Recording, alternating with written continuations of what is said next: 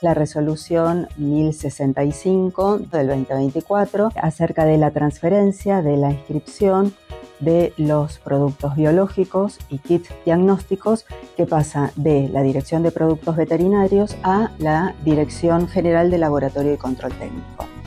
Eh, creemos que esto aporta agilidad a todo el proceso de inscripción, ya que el mismo va a estar concentrado en una misma dependencia del SENASA, que en este caso es el laboratorio. Además, estamos apuntando a que todo el proceso sea digitalizado desde el inicio y la apertura del expediente hasta la obtención del certificado de uso y comercialización.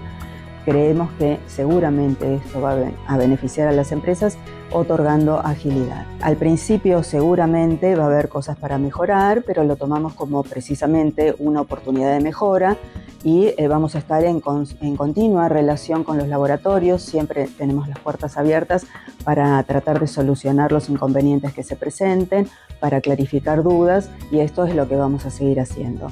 Pero estamos confiados en que verdaderamente el proceso va a ser eh, beneficioso para ambas partes, principalmente para eh, las empresas que quieran inscribir sus productos.